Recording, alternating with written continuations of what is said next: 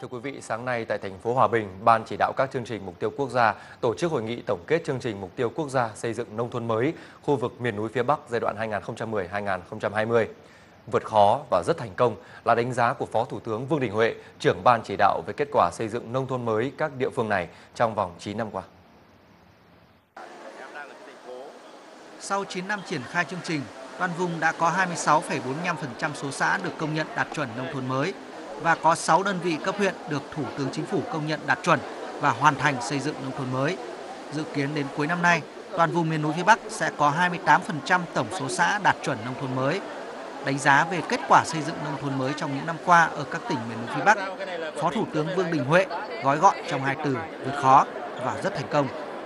Địa hình khó khăn và xuất phát điểm thấp nhưng với nhiều cách làm hay, mô hình sáng tạo, đặc biệt phát huy được vai trò chủ thể của người nông dân, 14 tỉnh miền núi phía Bắc đã về đích trước một năm.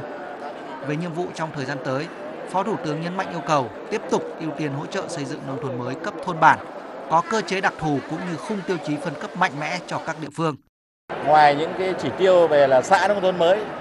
huyện nông thôn mới và xây dựng nông thôn mới kiểu mẫu,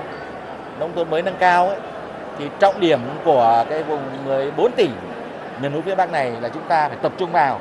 là xây dựng nông thôn mới cấp thôn và bản với một cái chỉ tiêu là khoảng 80% là các cái thôn bản trong cái đề án mà chính phủ đã ban hành sẽ đạt được cái tiêu chuẩn nông thôn mới vào năm 2025.